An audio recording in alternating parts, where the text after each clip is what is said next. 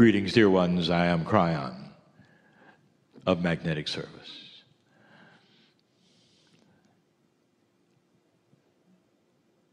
The thrust of the teaching today I gave to my partner so that you could ask the question is it possible that this new energy, that new consciousness, that all of the things we've been talking about would also involve that which was the whole planet? The energy of the earth, the physics that you know, the esoterics that you believe, the angelics that you depend on? And the answer is yes. Everything and everyone is involved in this, which is the greatest shift that humanity has ever started. And I emphasize yet again started. For that is where you are. In the scheme of things, dear ones, consciousness is not something that shifts instantly. It will happen in different forms, in different ways, in different cultures, and it takes different times. As you sit there or as you listen to this, for your culture, you may already be experiencing this very thing, and in others, they may not experience it for a generation. One becomes a catalyst for the other. And typically, there will be those on the planet who will receive things to help others. The shift is real.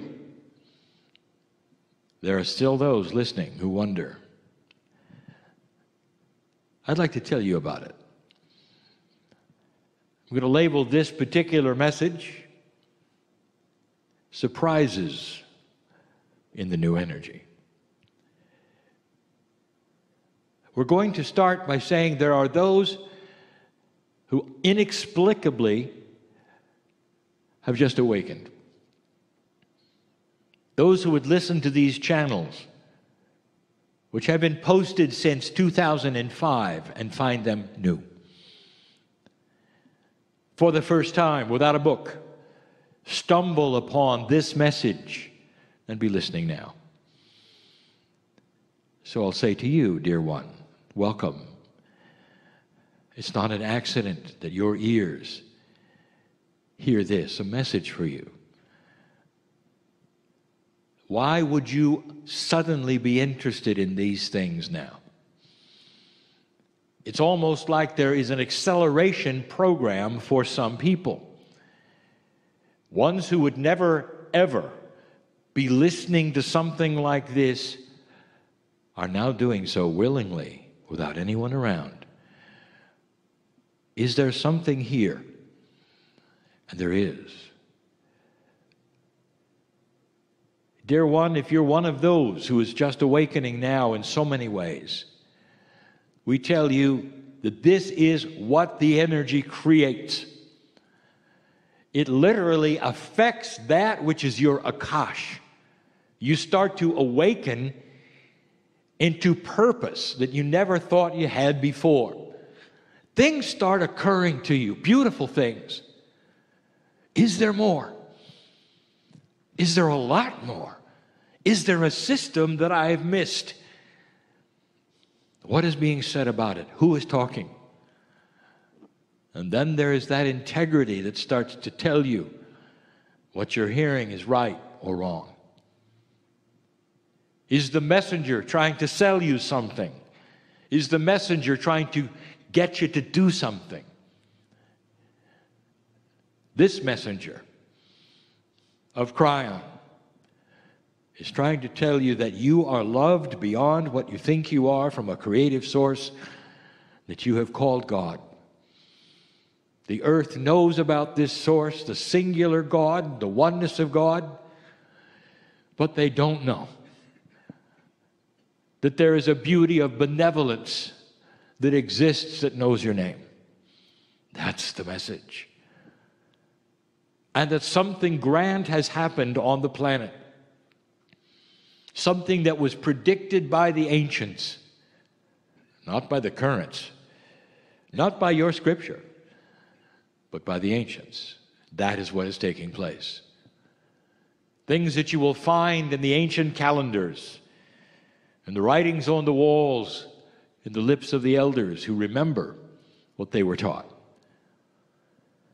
A time of great decision, a time of great light and dark, a time of no fence sitting, a time of truth, a time of awareness and awakening. And every single human will have a choice to accept it, to see it, or to simply walk the way they've been walking. But the ones who will see it first, the ones who will listen to this message and wonder why they are, are the ones that have been on this planet for eons. That is the old soul. Your soul is journeying through life. The soul is eternal, it never dies. It comes and goes and comes and goes in different kinds of situations, cultures, bodies, genders, and learns things as it goes. This is the time you planned for, old soul, whether you know it or not. There may be mystery right now to you. What is this? What is really being said? And so for you, we say, take it slowly, listen carefully, and perceive truth. But the ancients knew that human consciousness would someday awaken to a higher, much higher ethics. The beginning would be with those who were old souls who had been on the planet the longest and would have the equipment, that is, the experience, to see what it was. It's a fast track of learning, helped along by the things that we have channeled are happening, that the earth itself and all that is upon it knows who you are and what is going on, and that there are processes at work that will make this an awakening far, far easier. Because the processes are one that will void the dark, make it uncomfortable for those who only want the darkness in their lives, and will eventually wipe away that which you even would consider to be evil. This is where you are. The beginning is where you are. The second kind of person is the one I want to address now, who is the old soul, who knows this, who has been listening for years, who expected it, and now is having trouble with it. Trouble in the new age, we could say. And the reasons have been covered over and over. But I want to give some advice. A few pointers you may not have heard before a review, and then some new things. First, I want to take a moment. 28 years ago, the ball was rolling toward this. I came in in 1989. The political changes on the planet were vast. It was starting then to change the future. My partner was not necessarily receptive, and it took years to the place where he could write that was even understandable. At that point in time, you might say, Well, Kryon, did you think you would ever be talking about the shift? Would it take place? I had seen this before. I knew there would be those who would not accept it. But I want to tell you how I feel. There is emotion on the other side of the veil. It is compassion, it is love, it is celebration. It's pure. It is absolutely pure. There are those who have sat in the ecstasy of God for eons they've talked about it.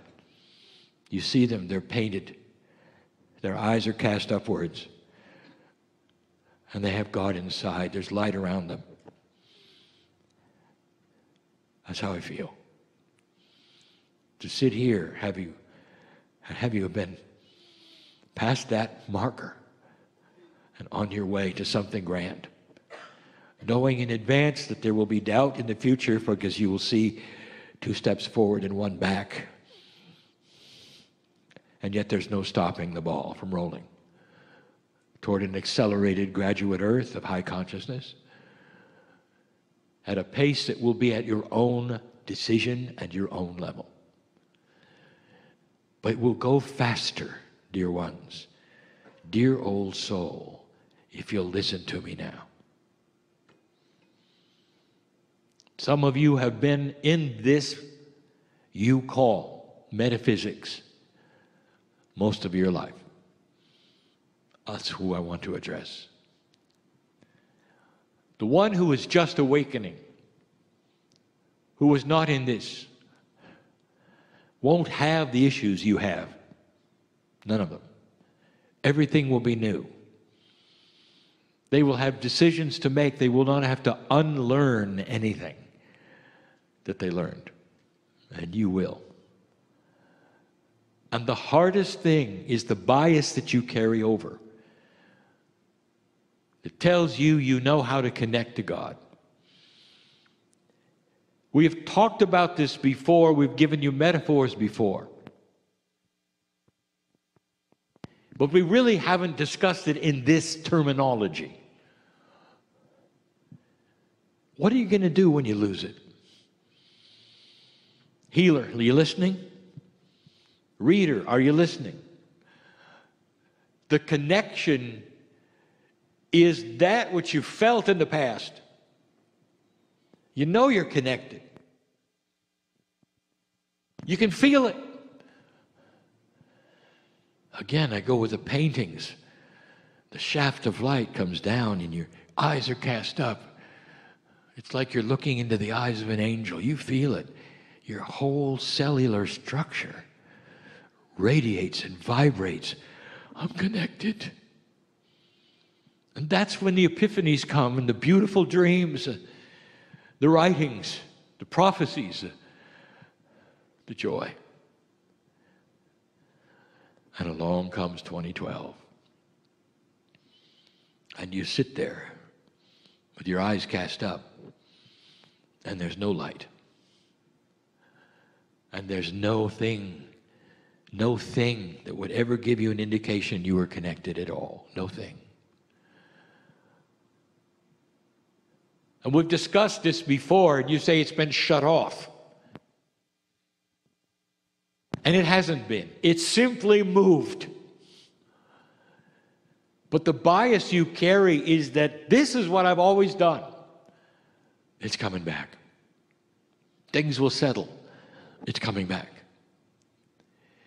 No, it isn't, dear ones. It moved on. It moved to a higher frequency. It moved to a higher level. It moved to a higher light source. It moved a little bit over there. Not too far, it's just over there. And yet, the bias of the human being says God is the same today, yesterday, forever. Therefore, God is going to be the same. And the truth is this you're right. But again, we say it's human beings that change the relationship to God. Therefore, move over because you are expected to vibrate higher, to feel that which says you can get into the light. The old place you sat is that which is now old. It's not commensurate with your magnificence. Get up, move over, get in the light. The frequency, you might say, you might describe, of the connection has moved. You might say it's higher. I say it's different. You've had what I would call a very identifiable three dimensional frequency you tune into and feel the ecstasy of God. Suddenly there's layers. Suddenly there's multidimensionality. Suddenly it's in color instead of just one yellow. The light now resonates so differently. And you're still sitting in that same place, literally in the dark, because you don't want to move. There are those who say, All right, all right, Kryon, I understand. How do I do it? Let me ask you this How did you do the first one? Did you jump through hoops? Did you climb ladders or steps? Did you have to have lessons? And the answer is no. You just sat there and you went into a space that said, Dear Spirit, I'm here. Let's talk. You gave the invitation.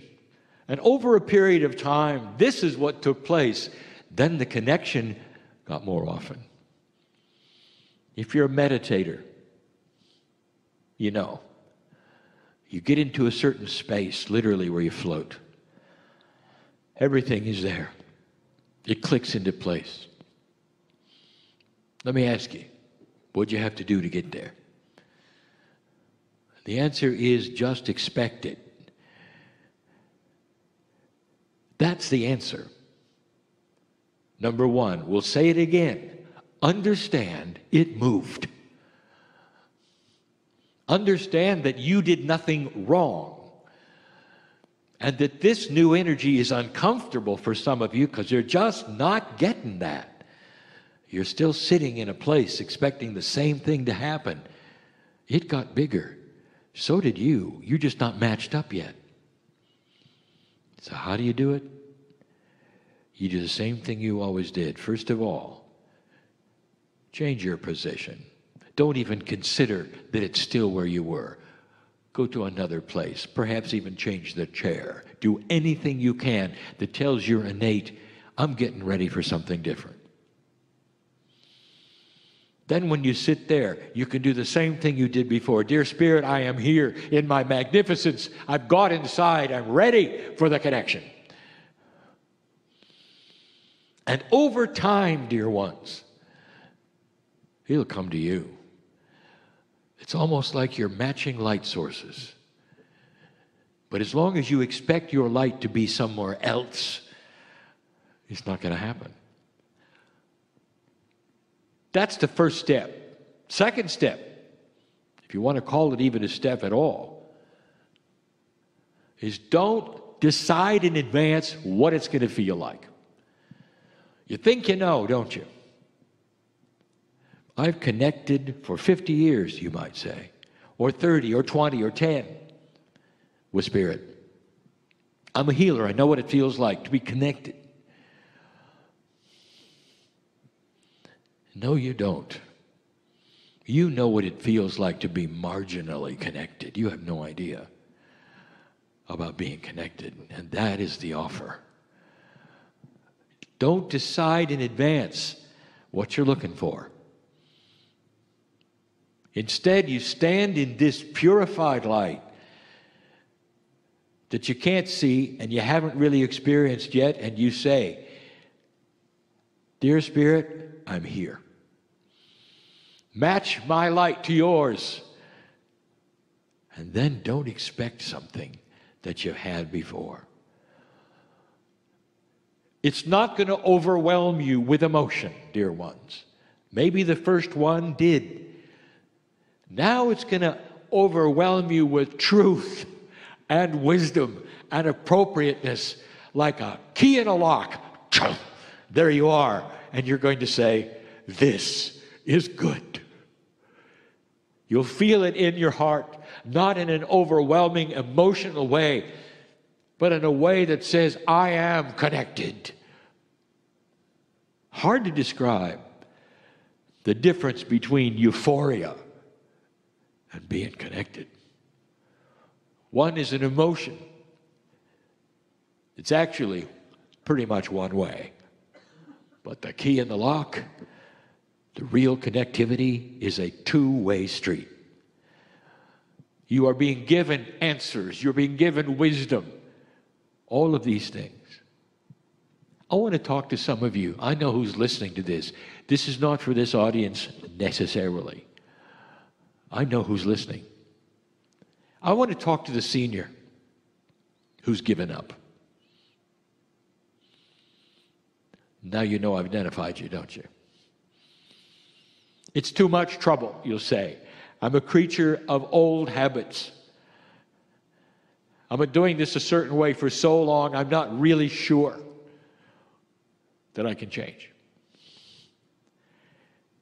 And even as you say that, and your body hears that, there is an enormous entourage dressed in formal attire, waiting for the party for you to find the energy that's just a step away. You have so much help. If you'd simply acknowledge, I'm going to continue, and it's going to be better than it ever was.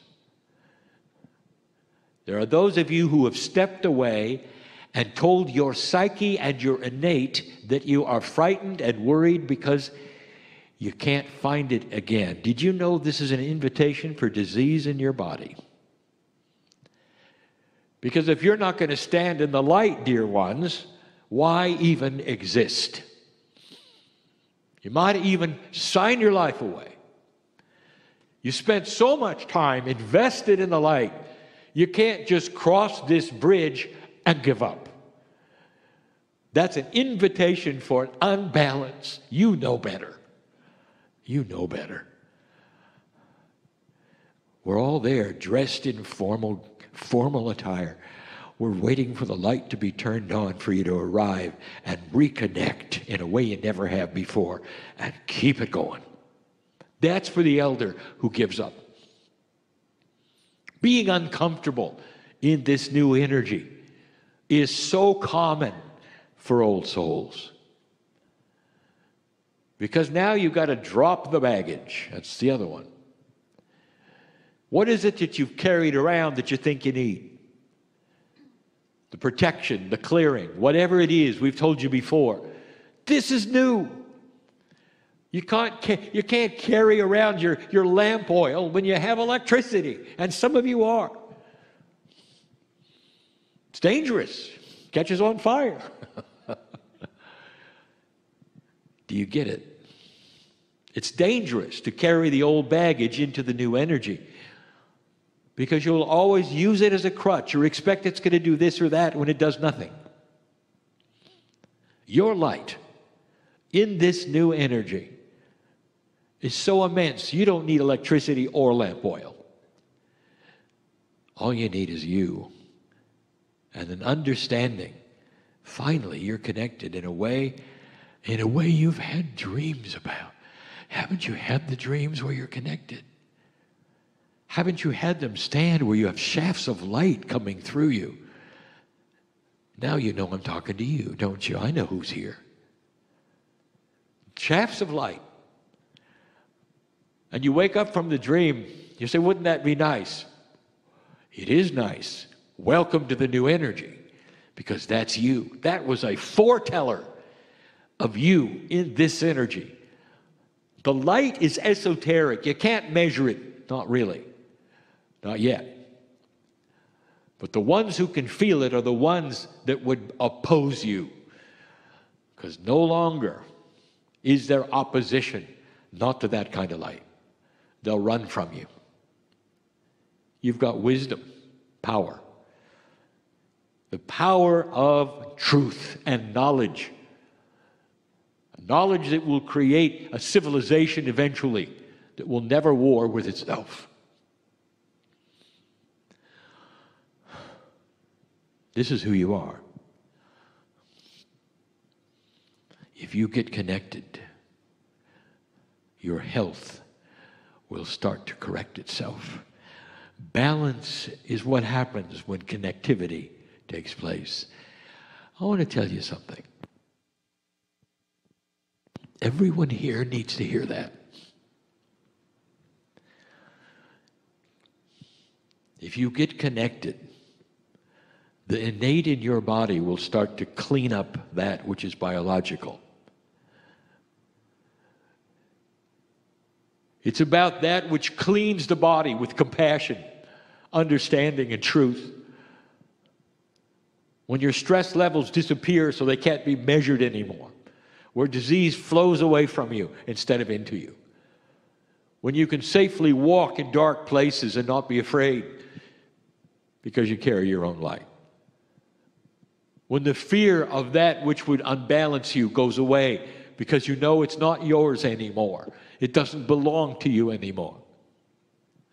There are those in the room who have actually accepted disease to the point where you say, I have this. Have you ever thought about what your body hears when you say, I have this, and you name something? You've just owned it, acknowledged it, and your body heard you. That is dangerous. Old soul, watch what you say.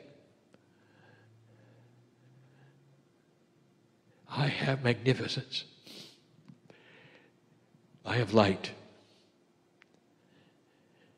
I'm working the puzzle to eliminate this. I am in the process of clearing this. Never say, I have this, and then name a disease or an issue or a problem. Because your innate is so aware right now of your commands to it. It's almost like it's listening to every single word you say to everyone. It's time for you to claim that magnificence. It's going to help you connect. Believe me, you're beginning to turn on your light. It's the beginning. It's why I'm here. The transition is tough only because the bias is caused from eons of being a certain way, and now it is not. That's the message today. Oh, there's more, much more. The oil, the catalyst, the thing that greases the wheels of all of this is a word you don't want to hear patience. All of you are impatient. Every single one. Because at some level you can feel it coming. The train is arriving. You got the ticket. You've been waiting years. You can hear it, but it's not here yet. So now you wring your hands and say, Come on, come on, come on, come on, come on, come on. I want you to be patient because it's a guarantee you're going to get on the train. And in the process of the patience, more stress will disappear. It's all related, dear ones, to you passing into an energy you've never seen before, never felt before, never been in before.